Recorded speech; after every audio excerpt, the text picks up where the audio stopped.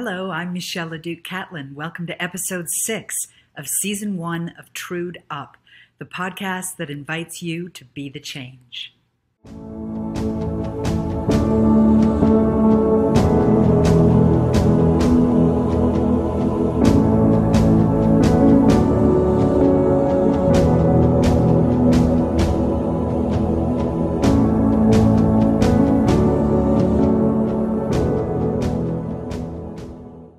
Today, I gush. I remember a video back in the early days of COVID. A stylishly dressed woman was speaking at a rally in New York City. She was small in size, but her words were big and bold. In talking about the threat of the COVID mandates and protocols, she said the unspeakable. She referenced the Holocaust.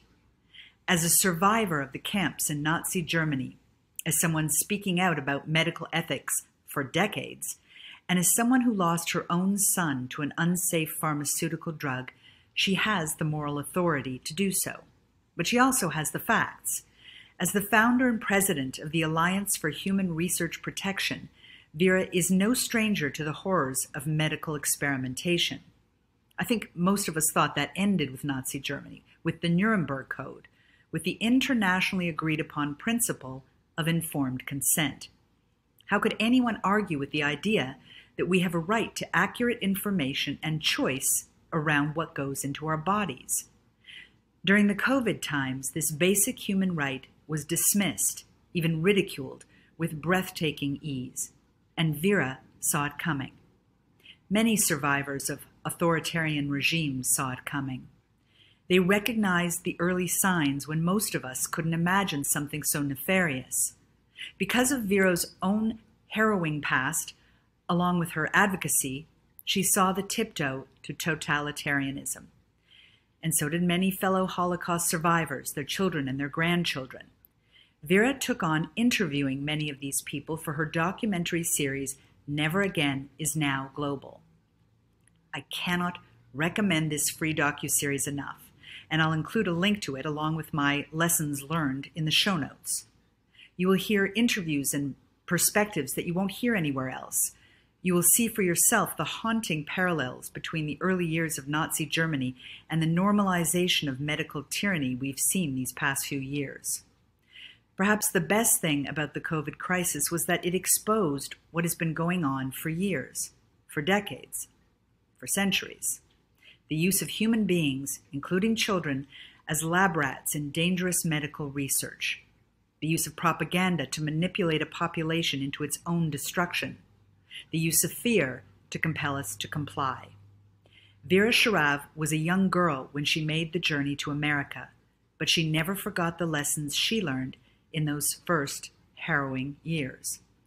She understands the nature of creeping authoritarianism, and rather than be victimized by her history, she became a maverick and a warrior. She is a heroine to me, and she is my guest today on Trued Up. So, First, I just have to say that I am absolutely delighted to be in a conversation with you. You know, I first saw you at the beginning of the COVID crisis in a little video that went viral. You were speaking at in New York at a rally. I had oh. no idea who you were. Like, who is that woman? And for me, you're like a warrior goddess. And I I just the whole premise of my show is to have people speak to their heroes to see to recognize themselves to mm. see what it is that inspires those people that we can see in ourselves so that we stand up and take action. So i first just have to start with you're my hero. I really thank you very much. Um, i'm not really used to doing this as quote a holocaust survivor you see. I mean i have done things in my life uh, for you know uh, human rights but not as a holocaust survivor. People didn't really know it unless they knew my background. But with covid this came right to the foreground. You know i recognized immediately the big lie. So let's yeah. what is it you recognized? How did you see it? Well, you know, I live in New York City, which I used to call the center of the universe. Of course. Of course, New Yorkers are like that, right? but not and not exactly now. And so we were the epicenter of COVID in 2020, March and April. And what didn't make sense, it just didn't make sense. I mean, relatives from Israel told me, oh my goodness, Central Park is now a hospital. And I said, what? You know, all these kind of rumors which were actually articulated by all the media. Oh my God, you know, everybody's dying in New York. But there were a few women, I, I don't know them, I don't know who they are, but they went with those iPhones with the and did videos of empty Yeah. hospitals. When I saw that, I said, "That's it. This is a, this is not what we're being told." And that's it. You know, I just didn't believe it any. You know, I, I realized that this is something else entirely. And I know I had arguments with very good friend who's doctor who did fall for it at the beginning. Absolutely. She said, "Oh my God, no! This is this is really you know," and, and she has a lot of experience with you know with really nefarious stuff, um, military, you know, the anthrax and all that. Um, but I didn't buy it. I realized it was a lie. You know, why would they have to lie to us? It, it's just you see, it doesn't make sense. Why do you have to lie to people that people are dying all over? Well, eventually we did find out the truth, which was they sent everyone to three hospitals and all the others were empty. It's a very, you know, a good way to create panic and maintain panic. And then uh, I also quickly, rather quickly, and, and in part, well, my husband, who had been ill for a very long time, and he was in an assisted living center, and for three weeks I couldn't see him. The lockdown, and he died. They did let me come for the last two days, but but I realized also what was happening with the elderly, and I began, and I then learned about Andrew Cuomo, who was then governor, who issued the order to hospitals not to treat the elderly, to send them to nursing homes. And before he issued the order, he predicted this virus in nursing homes will be like fire through dry grass. Well, I began to talk about that.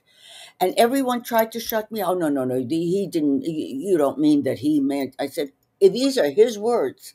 I'm quoting verbatim. I'm not making it up. And really, within the freedom movement, I had people trying to tell me, no, no, don't go that far. They, this is not, you know, that I recognized it because I knew about the T4 program in Nazi Germany, which cleaned out first, it was the babies and young children under the age of three who were disabled in some way. And then it was the older children, and then it was all the mental patients, and then it was the nursing home patients. So, So I want to I want to just interject there because for many people they may not know about the comparison with Nazi Germany. They may not know about uh, your background as a Holocaust survivor. They may not have put these things together. For me, as someone who's not Jewish, when I first started to hear that, you know, it was the same reaction that many people had. It's like, oh, can, can you do that? Can you make that comparison? Because because the Holocaust is so horrific, so unimaginable. You said something uh, in Georgia, in Savannah, at the Children's Health Defense Conference that really struck me that the Holocaust, it's like that people relate to it as something that is, you said it's like something you bring out for, you know, for holidays to for, for memorials, for, For to memorials. And uh, that's not what it's about. That's not what never again means. I'm so sorry, but this is one of those things I have to get rid of. I'm on a Zoom. I can't talk to you. Uh, um, the problem and the issue is that the gatekeepers the institutional gatekeepers of the Holocaust have essentially done exactly what is going on with COVID, where government agencies and anyone that they support, which is, you know, all the pharmaceutical, the hospitals, everyone, they're all adhering to a single narrative. You are not allowed to veer away from it. The same thing is true with Holocaust memorials. And as I say, the gatekeepers who have an iron grip on the storyline. And the storyline is that nothing before or since the Holocaust may be compared to the Holocaust. Well, what I recognize what they're doing is making the Holocaust irrelevant, irrelevant to history and irrelevant to here and now. That is a crime against the victims because the victims, one of the main things that really, and many of them articulated it, even in, you know, even in Auschwitz, they buried uh, what were like diaries of those by those who had to sweep up the crematoria. They wanted the world to know what happened so that it would not happen again, so that they would recognize the signals before it happened, you know, before it evolved. After all, the final solution took nine years. Hitler was in, he was a dictator already nine years but he did everything very slowly, very methodically, got people used to more, each step more evil, each step more evil. That's how you do it. And this is what's been done now. So I am, yes, I'm on a warpath with both Holocaust deniers, which is a ridiculous thing anyway, but also with those who are holding the Holocaust hostage. I you know, I got I still have goosebumps when you said that because I recognized one of the I'm going to call it gifts of the last three years, three and a half, four years, is the awakening of questioning, right? The awakening of the ability, the facility, the practice of questioning everything. And I realized that, oh my God, that's that's so true. We have we're not allowed to touch the Holocaust like it's you can't make a comparison. But if you don't make a comparison, then what's the point? What's the point? Exactly. And, and the other piece I got from your documentary, which we'll get into, is that what you just said that this didn't start with the final solution. No. It started with these little bits. And and when you talked about evil, I really um, got there was there was one man. I think he was the grandson of um, uh, someone who who helped the Nazis, who said that evil isn't necessarily done by evil people. You don't have to, and it reminds me of the banality of evil. Yeah, yeah. Well, this is just it. The banality of evil simply means that it becomes an everyday thing, and then it's no longer got the, eh, eh, the horror attached. Which, yes, we need to be horrified by evil, and instead it desensitizes people. And that's the point. Conditioning, desensitizing. I don't believe in, uh, you know, in um, uh, what's his name, Desmet, who, who talks about the uh, Desmet, yeah, yeah, about being hypnosis. Yeah, I don't think it's it's it's really a conditioning where you are just being conditioned to accept the unacceptable. I, I think, yeah, I definitely think you're onto something because I remember for me, I started writing about all of this when vaccine passport was announced, right? Oh, I shouldn't have said that. Probably get censored somewhere. But anyway, uh, I um, when I heard that, I thought, no, no, no, people aren't going to put up with that. And how quickly they did. And I would walk around my neighborhood, which had a lot of restaurants, cafes, and I would see people inside. And I would look in there I was incredulous. Is don't you understand? The Jews are out here. Yeah, right. Like this is happening. Yeah, yeah. Well, look, and you don't have to, you know, look very far, but you know, Israel was right in the foreground of it. Why do you think that is? Uh, well, okay, there are several reasons, but one reason is that Israelis really trust their healthcare system. They have had it, you know, for 40 years, and they're perfectly happy with it. So they trust it. They trust the doctors, they trust the health officials of the government. They could not conceive that they would be part of an evil thing. They just Mhm. can't. And and this is yeah, this is very real. That's really interesting because I think the same thing is true for Canadians.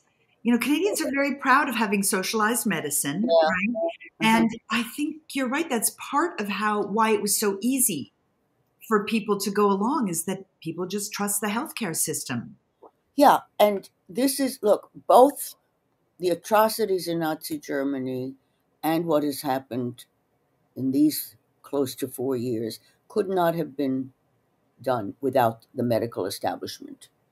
That is the their people trust doctors. Even when they shouldn't be trusted. Yeah. They just do.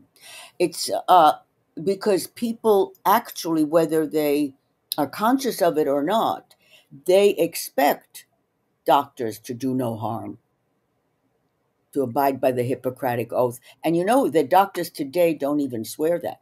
I was just going to say that I only recently found that out. I was quite shocked. And I think people need to understand that, Mhm. that they don't take that oath anymore. No, they don't. And um, and the uh, well, the the I would say the the one thing, the one positive thing that came out of the Nuremberg trials, only one thing really, and that's after the doctor's trial, which is the Nuremberg Code. And I recommend really that people get a copy of it. We actually put something together, and we'll do another one, uh, just from, from our organization. People need to really have that with them. It is a legal and moral document of human rights. What everything about the COVID shots is totally at odds with the Nuremberg Code. Absolutely. Nobody got real informed consent, voluntary informed consent. That is such an important. Uh, it, it's it's a right that all other rights kind of stem from it. If you if you are not informed in great detail about what's in those shots, what's the evidence of safety? They're Just saying safe and effective. What does that mean?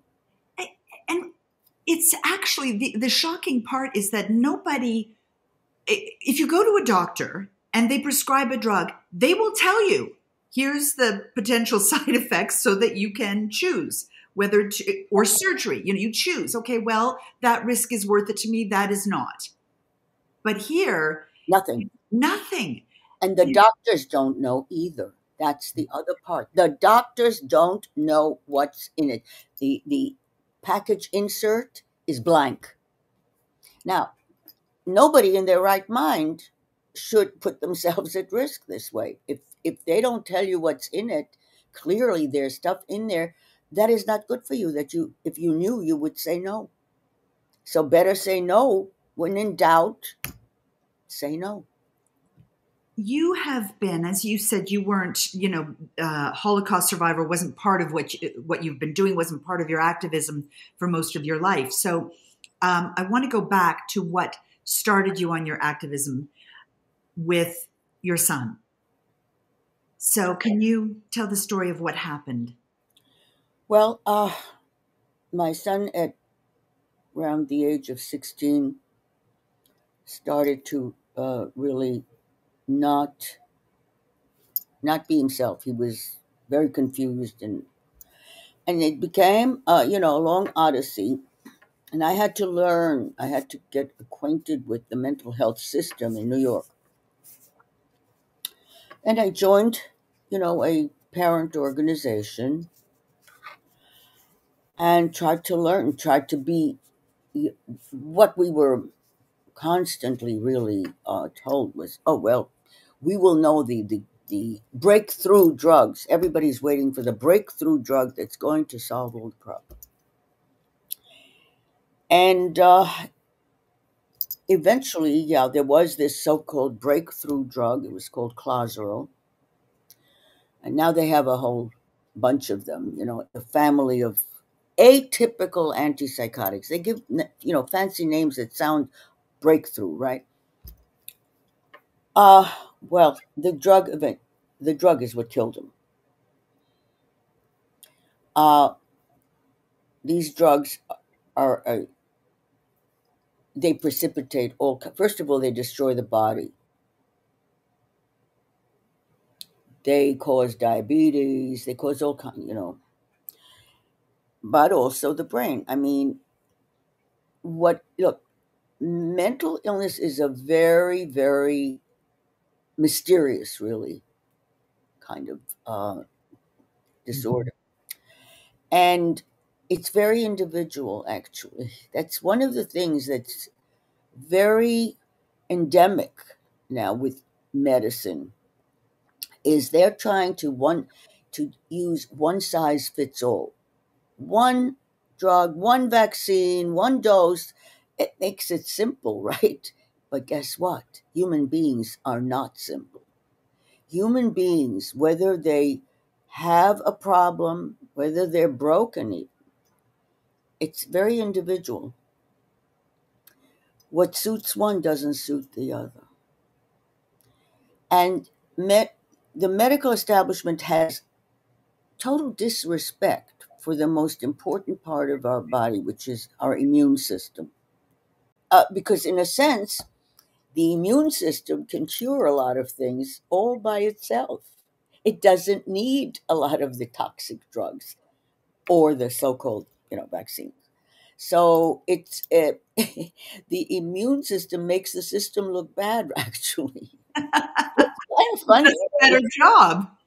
yes, it does a much better job when it's left to its own devices. When it's given, you know, decent nourishment and has the body kind of, you know, it helps the body function. And it's constantly our army that protects us you've just given me a whole new context for why they fought natural immunity so hard. Exactly, of course. Because if people understood that they could cure themselves, yeah. especially of something that, look, what I've learned uh, during this time, really, the COVID, because I'm in touch with all kinds of scientists, you know, doctors who really are studying, who are, who do, are knowledgeable and are trying to help us and not just pump more, you know, every six months they want us to take another shot.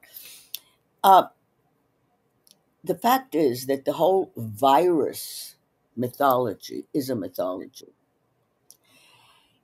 A virus that is very lethal is never very infectious. The viruses that are very infectious are like the common cold. We give mm-hmm. it to each other all. Oh, yeah, that passes from one to the other.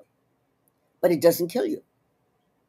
The one that kills you can't go to somebody else because it kills you. You're dead.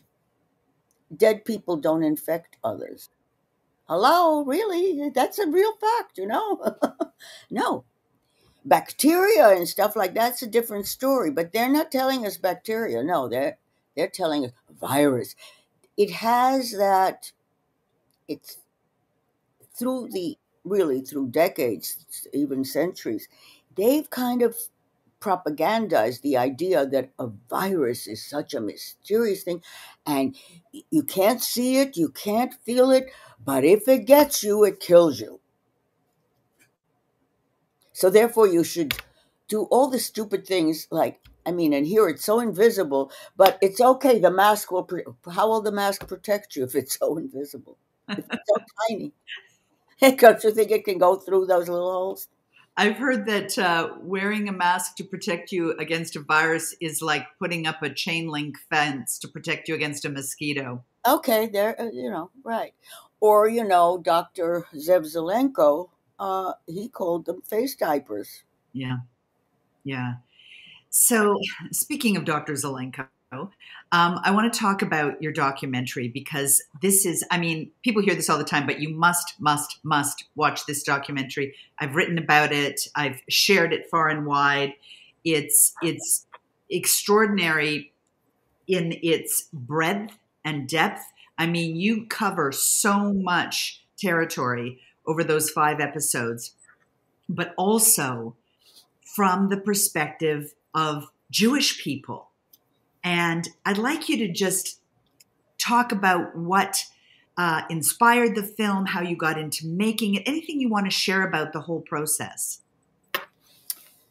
Well, I've never done a documentary before, so that's, um, and I will say this: uh, we at first had a larger sort of committee, and people, uh, you know, who had done documentaries and all that, and I realized that wasn't going to work because I did not want to have a script or even an outline, nothing. I said, I will go out and interview people and let them they'll they'll carry the story. And that's what we did. Wow. And the fact is that well, some have told me that I had some help from above. Nothing like that. Well, the reason they say that is because other than um, Edwin Black, who, is the last one that I interviewed during those five episodes. Uh, I ha- what he said, I said, "Oh, that has to go right in the front because that'll carry." Now he wrote uh, IBM and the Holocaust, and he talked about the American corporations that facilitated, that funded, and gave Hitler the wherewithal, the weaponry, and the money to carry out because he didn't have any. That was just it. You know, Germany was not prepared militarily at all. And, but other than that, I interviewed people simply by whatever schedules could be done, their schedule, my schedule. It was totally happen chance. And yet it flowed. we didn't have to shuffle. We thought we would, but we didn't. It, it just worked out that way. We had to then decide, you know, the break between, because it's five and a half hours. But by the way, we're we are going to have a sixth and final um, um so people recommended whoever knew someone who either uh, survived or children and grandchildren. And yes some of some of the grandchildren it's very interesting because grandchildren have a different relationship with grandparents and with parents. And that, by the way, is one of the things that I think was one reason that they wanted to get rid of the elderly, aside from the economic burden. You know, grandparent people my age carry history. We tell stories, and that's what the grandchildren love so much. They love to hear grandma tell stories. Well, and and this is so key because we tend to look at the past like somehow those people were naive or uneducated or just couldn't know how these things could never possibly happen again. And when you hear from real people, yeah. and people like you who are actually saying, "Yeah, this is how it started," it's it's a whole different perspective. Yeah, you connect the dots. One of the grandchildren, actually, when he talks about his grandmother, who evidently she must have been a really tough lady, uh, because she was shuffled from one slave labor camp to another. I mean, uh, six of them, and, and she survived. And he tells about how when he was a little boy, she sat him down and told him everything. And he was so horrified. And he said, Grandma, why are you telling me this? And she said, Because if ever, ever, ever you are confronted with something like that, you will know to fight. Okay? And so now here he is. Uh, you you know, this is not not scripted. People are, you know, said to me, "Oh, you know, Schindler's List or this or that." Yeah, but that's different. That's you know, that's Hollywood. Yeah. Well, uh, and uh, you know, it it points to the idea of some hero coming to save us. Yeah. one person who's going to do these great things when really no it's a grandmother talking to her grandson. It's every single person telling their stories. I think that's uh, I, I really get because i have a background as a director and i really get that going without uh yeah without uh, without you know barriers. Parameters. Yeah yeah no boundaries. So you let people tell the things that are most compelling to them. Exactly. I yeah i didn't i, I didn't have to prep people really. I mean, you know, some had you know accents and that kind of thing. We had to work uh, a little bit around, but really, it was it was in their heart. They wanted to spill it. Yeah, and I suspected that that would be the case, and it was. And uh, yeah, and there are quite a few grandchildren. You, you talked about the one whose father and grand his um, grandfather and grandmother were Nazis. Now, the, the grandfather was a physicist, worked with von Braun, and the grandmother was von Braun's secretary. And uh, he tells about he and his sister, after the grandparents were dead, they requested FBI dossier, and they found out that's true, that they were. And he observes that yes, I mean that to him it was his grandfather and you know grandmother. But eh, but as he said his obviously his grandfather was responsible for a lot of people's deaths. I think it's so important that we all take responsibility for the world we've created. And i, I found it extraordinary that you know in a in a culture, a time when people deny their own family history or their own mistakes or flaws or bad deeds, that mm-hmm. he would actually put it forward. Mm-hmm. Do you think that? Do you think that that's part of how we heal, how we create? I mean, what's your relationship to somebody like that coming forward with that kind of story? Uh, well, it, it's it's a very brave thing to do, and uh, as he said, you know, with, with COVID, I mean, there was division in the family, as there is in many families. Uh, but look, as adults, we have responsibility, and I think that a major responsibility is to try to find the truth so that we don't accuse the wrong person. Mm-hmm. Now, one of the things as well that I insisted that we did in the uh, documentary is that we honor the righteous Gentiles who helped, who maintained their humanity, and there were actually quite a few. Uh, I had to choose each episode in the credits ends with five uh, righteous. One of the things that that I found, which was both, you know, really uh, encouraging, but also uh, a surprise. The people are totally, there is no common thread at all. It's, it's totally unpredictable. Some are poor farmers in Poland. Some uh, one was a banker's wife in the Netherlands who went and met with Eichmann and got him to sign off on saving some hundred children, whatever. So this is terribly important because I see the those people who did maintain really their humanity person to person. And in many cases, it was to strangers.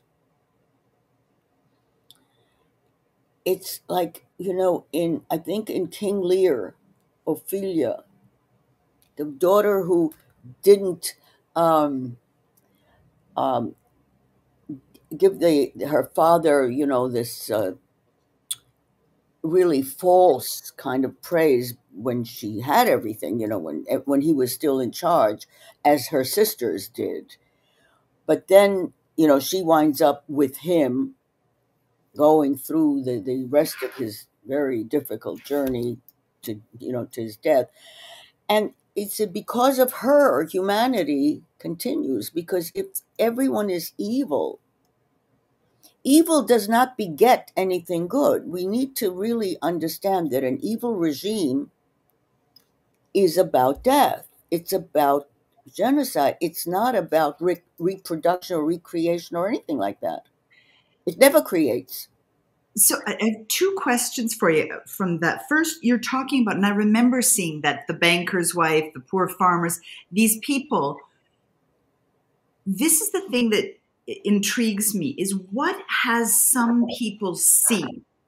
What has some people stand up? Because it doesn't seem to be along education lines, you nope. know, financial lines, class lines. What do you think it is that has people find that? the mystery of the individual human being. That is, and that is what they're trying to suppress. They're trying to eliminate individuality. That's what transhumanism is all about. It's they want predictable people. And as long as we are as as many as few as we are, that's the challenge for them look, even when it comes to the COVID shots, they got rid of the control group because it wouldn't look too good. But guess what? We're the control group. Yeah. Yeah. We really need to understand that we are the control group that threatens their entire empire. You know, on the theme of the mystery of the individual human being, which I love, um, it's it's you know we don't mm, appreciate mystery in an intellectual world, right? It, it's like we have to have answers to everything, but it was that mystery that that is part of what had you survive the mm-hmm. Holocaust. Can you tell the story about your instincts when you were a little girl? Yeah, I was on this odyssey essentially uh, for 10 months where I was um, a child without parents and without anyone really to take care of me. And I had to I had to learn to assess people. I knew that I couldn't take care of myself. I was little and I trusted adults. I didn't trust the children because they'd bully and all that. I didn't want to be near them. And I, I'd been an only child, so it's understandable that I related better to adults. But here I was on my own and I had to I had to assess who would be kind. And I have to say that throughout I was never abused. And you know, I mean today you can't let a child out two blocks away, you know. Uh, and so on my sort of last lap where after I'd been rescued from the camp in Ukraine. Uh, and I was sent back to Romania, where I'd been born. Uh, the last lap, my final exit from Romania uh, was in 41. Uh, and on, I had to take a train to the harbor city. And on the train again, I befriended a family. But when we got to Constanza, that was the harbor city, there were three small boats waiting for us. And they read off the names, and each person was assigned to one of the three boats. And I was assigned to the boat with the orphan children. But I refused to get on. I absolutely refused, no matter what. And they tried to bribe me to whatever. Nothing worked. I just cried, no, I'm not going on that boat. I only wanted to go on the boat with the family that I um, befriended. And I was left alone, you know, and everybody went where they were assigned. And I didn't. And for some, you know, miraculous reason, they, they gave in to me. You know, they could have picked me up and thrown me, you know, I mean. You were four years old. No, I was I was six and a half. Oh, you were six and a half then. Okay. Half then, yeah. I had been in the camp for three years, so okay. Um, But the first night out at sea, while I was actually asleep because I'd been very seasick, I always used to get seasick. So I didn't witness the horror, but the first night out at sea, a submarine torpedoed the boat with all the children. There were no survivors, no, no child survived. I only learned about it the next morning. And I never ever said one word. Nothing. You know, people looked at me because they knew what had happened the day before, how I didn't go, and there I was. But I thought to myself, well, I was right to disobey. But I also felt a tinge of guilt. Um, but that lesson, and it was a lesson, that lesson, even though I was not conscious of it most of the time, most of my life, I really wasn't. But it came back with COVID. Disobey. And what I've actually discovered during this period is that I do have a heroine, not a hero, a heroine. And I can tell you that some people really don't like it when I tell them who my heroine is. Goes a little bit against the religion. Okay, now I'm super curious. it's Eve. She disobeyed God to give us knowledge. That's it. Now, we have to understand that really, while that is regarded as, oh my God, but Eve is that evil. Now, that, that's what the way the institutional religion portrayed her. But really, would you rather walk around, you know, as a like an animal, you know, in Garden of Eden, or would you, you know, knowledge and responsibility? You know, they took their punishment, but you know, we wouldn't have a whole species. but really, the idea of yeah, there there are several stories though in the Bible which essentially underscore this idea that so, for example, the uh, sacrifice of Isaac that Abraham was about to actually, God told, but really the lesson that the lesson in the Bible really is you do not sacrifice children because that was what they you know that was what God was really telling the Jewish people because everybody was at that time all you know all everybody was sacrificed and this story is no, even if God tells you you don't sacrifice children. We wow. really need to think of the the human lessons that we're supposed to take out of this, not the kind of fundamental sort of thing which really doesn't get you anywhere.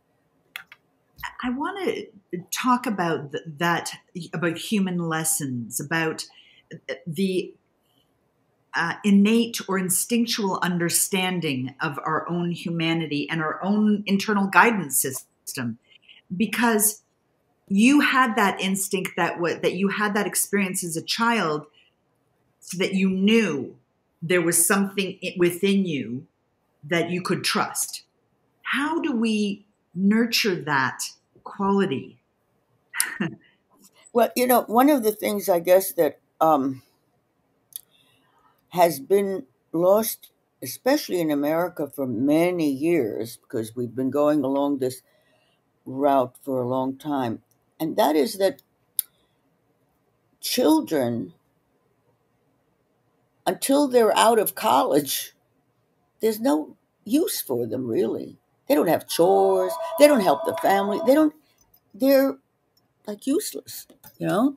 They're not regarded Sorry, but I'm still on. ay, ay, ay, ay, ay. Anyway, as farmers, children in farms have chores in the morning to feed the animals, to do whatever. Each one has their little, they feel needed, they feel productive. We have really left children from an age where they can be helpful, you know, to be useless. That is fascinating because I've only ever thought of it in terms of, I mean, I certainly see that, but I've thought of it in terms of the lack of discipline, the lack of contribution that we've that we've um, taken away from children. But you're right; their own sense of usefulness. Yeah, they never they never develop that, and I think that I mean this kind of coddling, you know, until they're in their twenties is ridiculous. And, and we've all kind of done it. I mean, it's not as though I, you know, always knew it. Now I think about it and I realize that was part of the this you know where then you rely on on nothing to do with family really you rely on others to assign a, a value to you based on what profession you're going into and that's one reason that the most obedient we have witnessed are the most those who spend the most time at universities because they they have been conditioned for more years than blue collar workers. You know, an electrician, a plumber, they make decisions at every job, not just every day, but at every job. A college professor, nothing. I mean, it's you, you are you've got to follow the syllabus, you've got to follow the protocol if you're a scientist. And the same thing with doctors, you have to follow the protocol. And now, of course, government dictated protocols, murderous protocols, and they and they followed. How do we break that pattern? We have to we have to take back all all the different systems and especially the education system uh, because centralized centralized everything really. Centralized planning central it's proven to be bad every time it's you know instituted. The soviet union used to do that uh, you know the 10 year program the 5 year program it was always a disaster. And we saw with covid the centralized you know uh, lockstep following exact that was disastrous and it was meant to be disastrous. I say it was intentional. This was not because there were protocols in place as to what you do in an emergency, what you do. They didn't follow any of that. They superimposed a central global, global. This tells you where global centralization will lead. It makes it easier to do genocide. And we need to think genocide because this is what they're after. They have told us that. Too many people in the world. They've been saying that since the 19th century, you know. Yeah, it's it's funny. That's another thing that I uh, had never questioned before. I mean, I did I didn't think and I think like most people, they don't think, "Oh, well there's a an agenda to actually start eliminating people." But eh, there's so many things that we're now i'm going to say given the opportunity to question mm-hmm. you know and i think i'm curious as to how we so we take back our institutions but how do we regain that capacity to think for ourselves you know it, in a way one of the things that um, and I think it's some of the Scandinavian countries where children don't start really school, formal school, until they're seven. Mm. Playtime. Playtime is very important for children. They learn a lot. Um, they need to kind of have a sense of who they are. And how do you do that if you're constantly told to obey? Obey whoever is in charge, you know? That's not that you, you don't learn from being obedient. You learn from being disobedient. Every creative artist, you wouldn't have creative anything if people simply followed, you know, the dictates because that's a closed box. by definition, that's a closed box. That's a parameter, and you can't go further. That's ridiculous. It's true in science and it's true in the arts. That's it's so great. You're you're contextualizing my own experience because my background was as a story director producer in lifestyle television, and I remember the limitations of tech technology, of equipment, sometimes locations at that time, and how I came up with the best ideas when right. I had the biggest limitations. Well, this is just it. Creativity is something that flourishes only if it has freedom to do so. Mm-hmm. If it has to follow, you know, in a groove, it's going nowhere. It's just going around in circles. Yeah. That's, you know, maybe that's one of the opportunities of this time. I, um, when I when I met you at the Children's Health Defense Conference, I asked you a question. I'm going to ask you again because um, we know now that this struggle to expose truth, this struggle for freedom, it's not short term. I think a lot of people thought that it was just COVID and, you know, once we expose the truth, then it would all be over and and people have been burnt out. I will put myself in that category.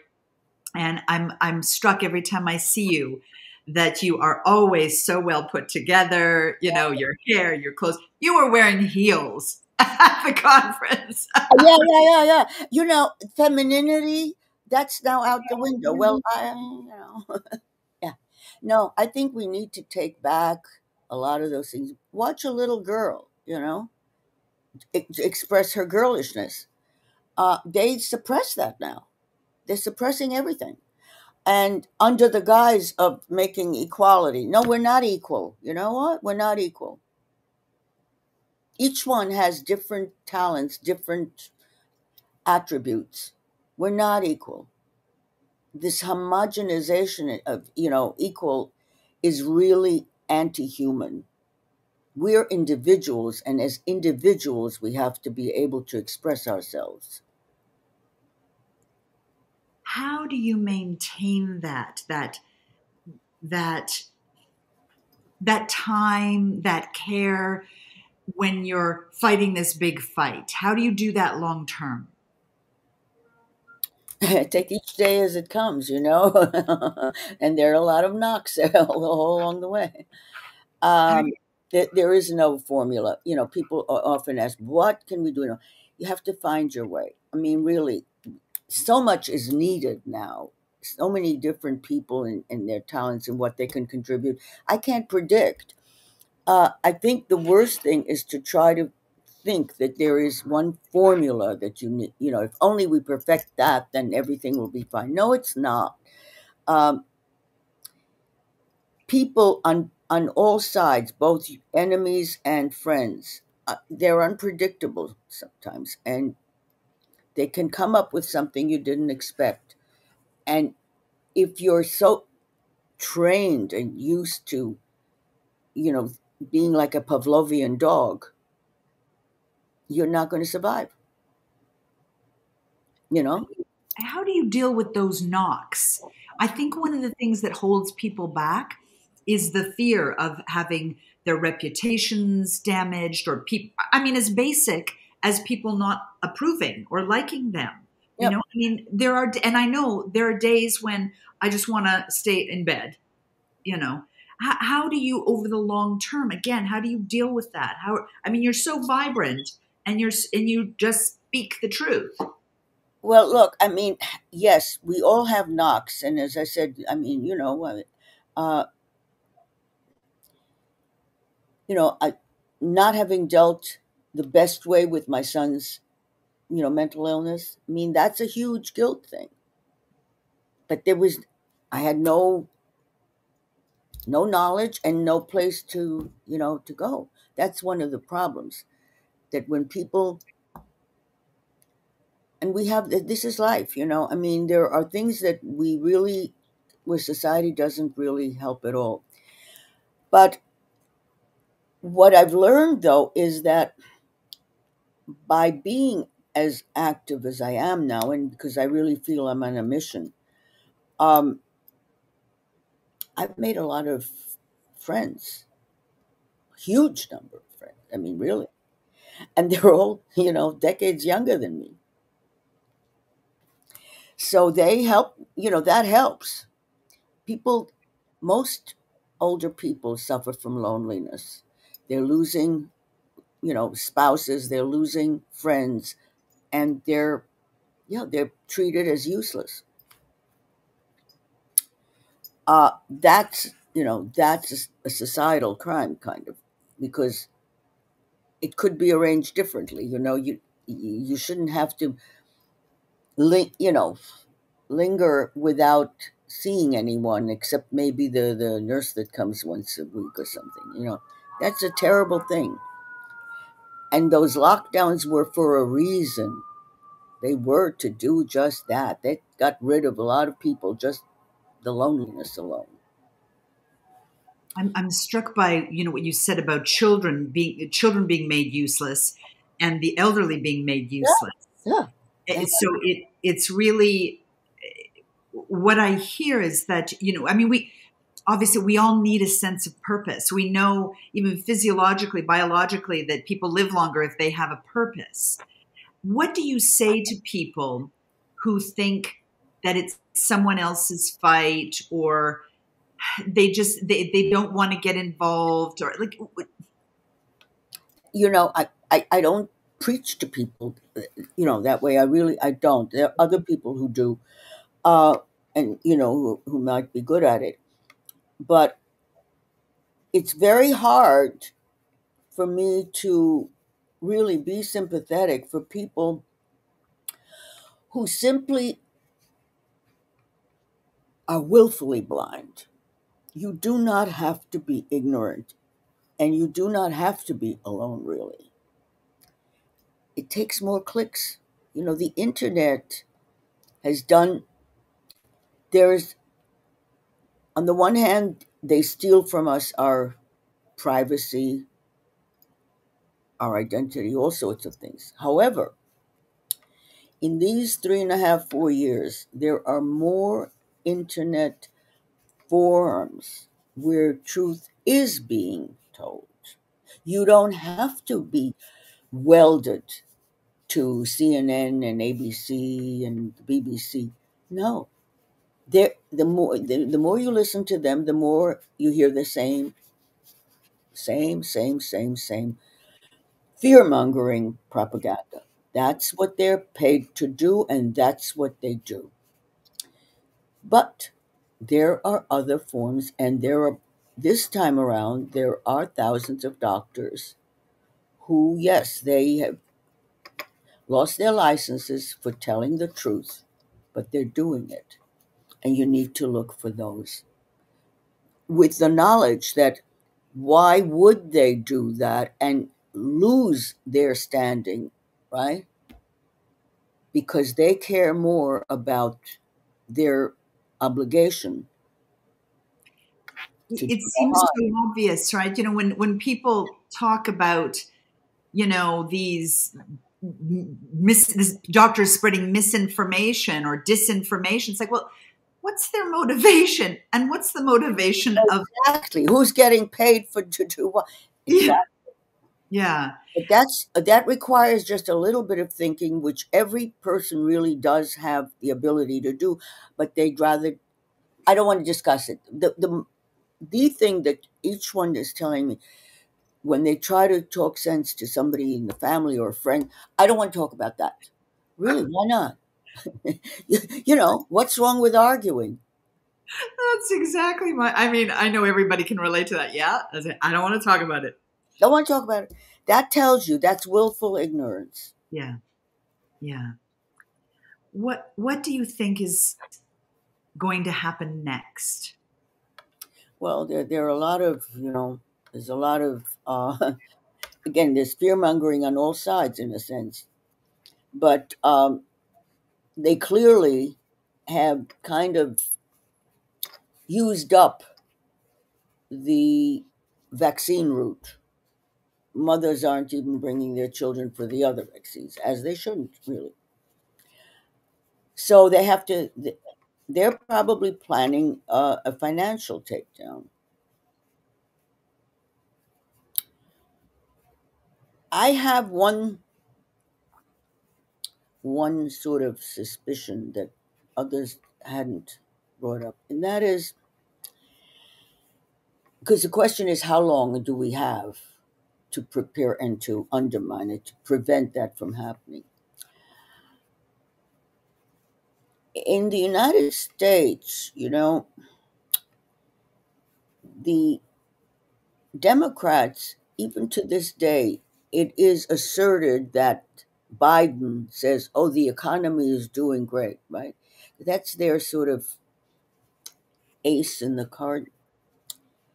I think that they are loath to do it under a Democratic administration. Strictly politics. If they have a breakdown during the Democrat rule, that's, you know, that's deadly for them. So, what we have to hope and pray is that Trump does not get elected. So you they think would love to be able to blame Trump. right. Absolutely. You see, that's my suspicion. They Interesting. now want him because, yeah, it's his fault. So when the house of cards falls, it's not on them. They're Yeah. very devious. They're very devious. But of course, if that's true, you know, then we have a little more time. hmm I think one of the challenges, and you you mentioned it earlier. Um, um, I don't know if it was before we started recording, but you were talking about convenience, and I see this.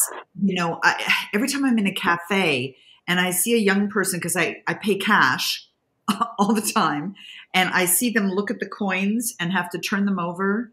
Because They they don't, recognize him they don't recognize them. They don't know how to make change. Right. I know.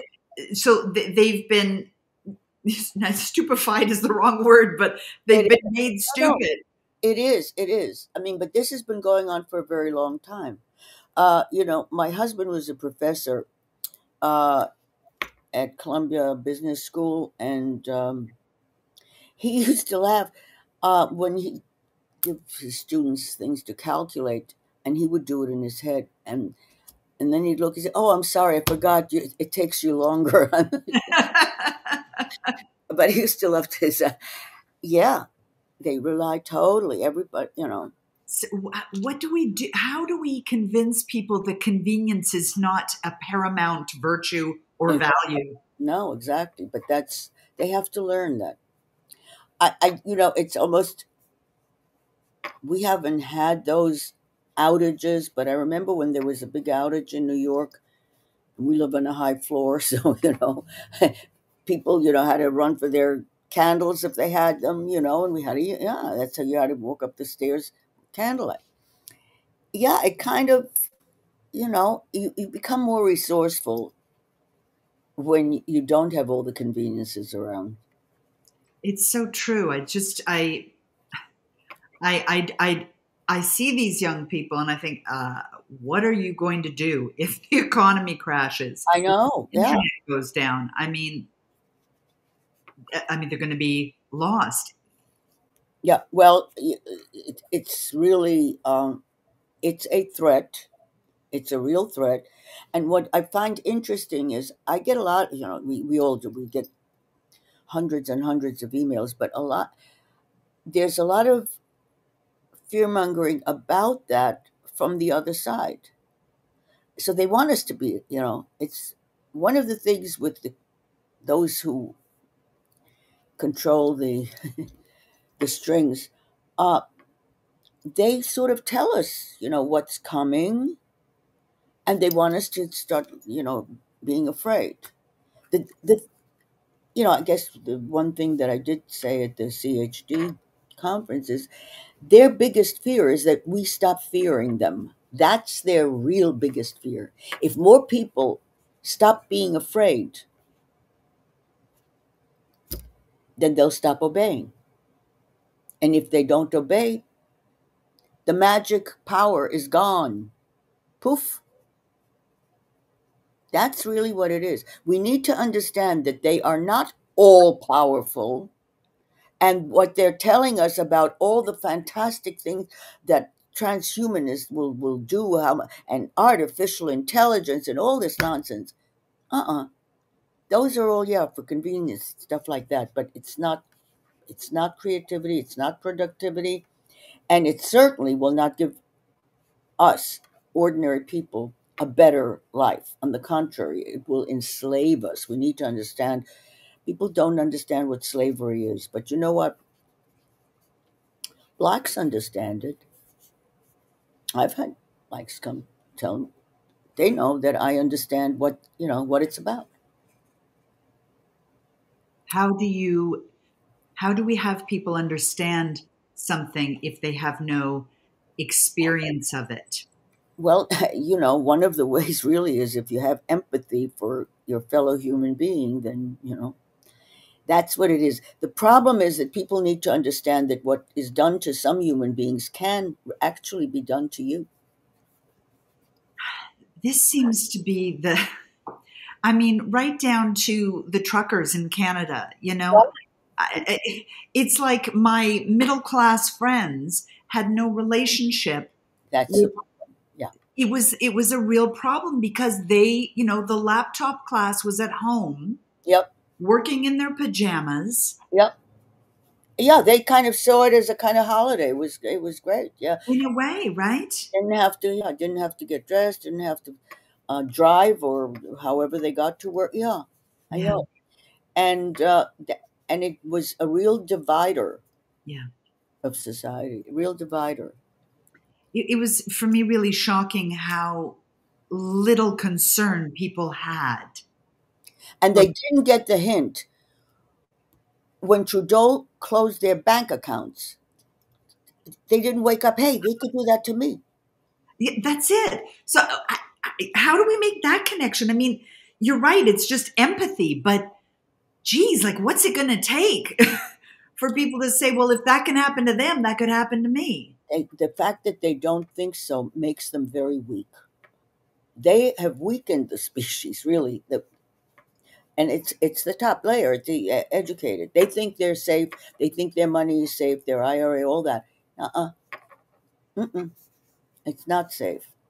Maybe, and, yeah. Maybe what it's going to take is that you know, some bankruptcies and things like that. I mm-hmm. mean, yeah. yeah. Um,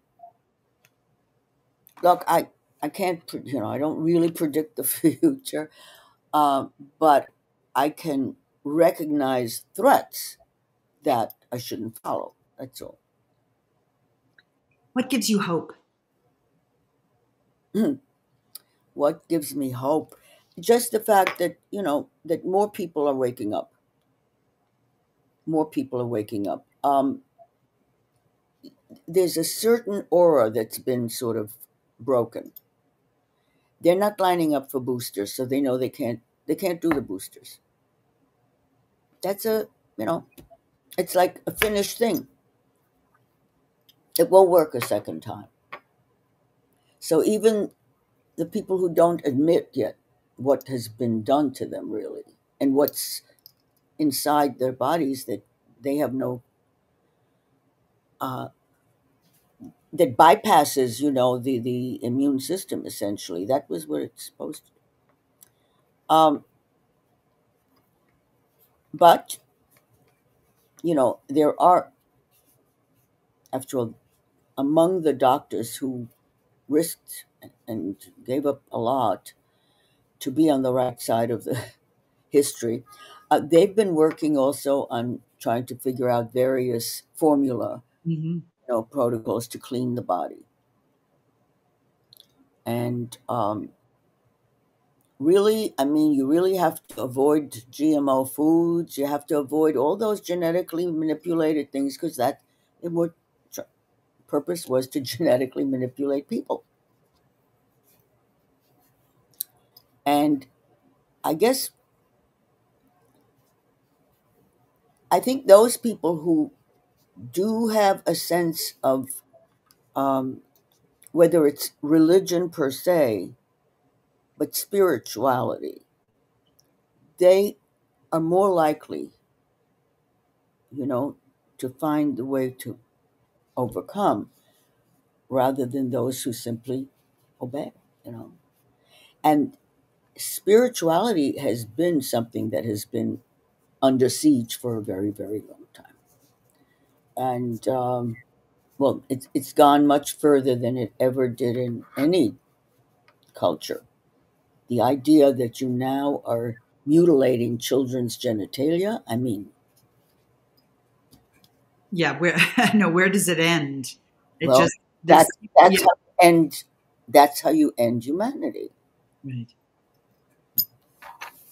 It's uh, I, I definitely see people more willing to speak about spirituality publicly, openly. They're, yeah, yeah, because they somehow are getting the idea that this spirituality fills a need. Human beings need to feel more than just, you know, flesh and bones and blood vessels. And I think you know one of the things that really inspired me is your your trusting of your instincts. You know that because I think for so long I, I'll say I was indoctrinated into being you know strictly intellectual about my decision making. Yep. um, which always felt like a struggle Mm. because you know there's a there's an instinct there's a a knowing it's like when you hear something as the truth and you just kind of it just clunk you know it just you just know it i um i want to just give you the last word about anything that you want to say anything that can help people to find within themselves what's needed to step up to to live their best lives in a way that's going to make a difference and forward our own humanity. I know that's a huge question, but you know, I'm just throwing it out there.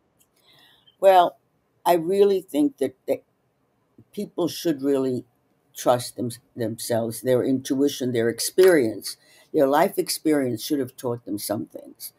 And they shouldn't uh, disregard it, disqualify it, as if all wisdom comes from, you know, science, uh, the science. There's no such thing as the science.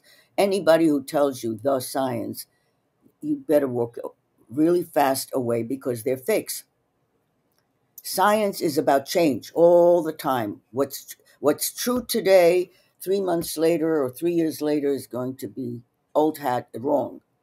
We know very little, and I, you know, I kind of take Einstein's words seriously because he said his his inspiration and his best work was when not when he was working real hard trying to figure something out, but when he was kind of walked away, and then all of a sudden he realized what it was he was looking for. That's intuition, okay? And that's the scientist of the century, really, probably more, because he, he's one of the very few scientists whose theories have not been chucked. He was right about everything. But he did not he did not look at science as godly or something like that. Not at all. And I think, yeah, there, since really the 19th century, there's been a concerted effort to undermine spirituality and to put to put it into a, you know a, a simplistic kind of context so that you'd be ashamed after all if you're an educated person I well, know. of course, the religion is the opiate of the masses. Yeah, you know? but Yeah. that hey what an opiate think about it instead now everyone you know so you go on, on the various drugs and stuff. No i mean and it isn't it isn't at all institutional religion. It's what you have to find within your soul. You have to believe that you have a soul. That's the first thing i would say. And that's you know that is i think the real that's how humanity woke up that you know we something is yeah we are special. No we're not like animals and we're certainly not like widgets. And they want to combine widgets with people. That's what transhumanism is. By telling you we're going to give you artificial limbs and this and that. That's just the front story. The real story is we're going to take away your brain we're going to take away your soul. And you just need to walk away and say nope. Nope. I'm I could talk to you all day. I want to be your neighbor. I want to knock on your door and go, Vera, do you have a cup of raw honey? Thank you so much for this. Thank you for who you are. Thank you for sharing your wisdom. I got so many delicious nuggets out of our conversation. People okay. get a lot out of this. All right, good. It was really good to talk to you too. Before I get to my closing comments today, I'd like to invite you to take a simple step to stop spending money in the big box stores of billionaires and put your money where your values are. If you'd like more information, please contact me about the Switchaway initiative. I'm committed to keeping Trued Up available for free, and this simple step of moving household spending to family owned businesses that make non toxic everyday household products that you're already buying can help me to do that. And I love a win win. And for those of you in need of a side income, there's also an opportunity to do that as a brand ambassador for Trued Up. Just contact me at gatheryourwits.com to find out more. And now to Vera Sharav. In a culture that worships youth and disregards, dismisses, and even denigrates the elderly, there are so few figures of Vera's age and experience held up as role models. But as she said, our elders carry our history. At nearly 87, Vera Sharav is as self possessed and sharp minded as anyone half her age. She is a reminder of a fading culture that once valued its elders, something traditional peoples still practice, and something we would do well to reincorporate into our society. As history repeats itself, we must look to those who have seen it before. Wisdom is not learned, it is experienced. It is Vera's very being that is my first takeaway from our conversation. She is also, as I've twice mentioned, as stylish as anyone. I was struck by her response to my comments about that. As a woman, she enjoys expressing her femininity. The way she looks and carries herself may seem like a very small point, but I would argue that self care and self respect go hand in hand. And we could use as much self respect right now as possible. Malcolm X understood this, and his followers followed suit. Much scientific research has proven this. In psychology studies, wearing formal business attire increased abstract thinking, and even athletes performed differently depending on what color they were wearing. There is a reason politicians favor navy blue and red. I think that today, in our quest for ease and comfort, we've lost some of our edge. The COVID years took it a step further, giving rise to the laptop class and their ability to work from home in their pajamas. I confess that I'm often guilty of doing the bare minimum to get dressed and look presentable in case someone knocks on the door. But what is the message we're giving ourselves? It's not that we all need to put on a business suit, but my takeaway is that we can raise the bar in our presentation to the world by expressing our self respect and thereby buoying our confidence and the way others perceive us. Of course, age and clothing are far from the most important life lessons Vera imparts in our conversation. My biggest takeaway was the answer to my ongoing inquiry about what has some people stand up and true themselves up to their values and principles while others don't. It is the mystery of the individual human being. That is what Vera said. She asserts that that is what those who are trying to control us are working to suppress and ultimately breed out of us through transhumanism. What cannot be predicted and therefore controlled is the human spirit. There is no formula for finding our way, our own way in the world. It is a day by day exploration and invitation to be our best selves. That is how we create the world we want, by being who we were meant to be. I'd like to hear your key takeaways from my conversation with Vera Sharav. Please share in the comments section and stay tuned. Be true to yourself and remember that we are the ones we've been waiting for.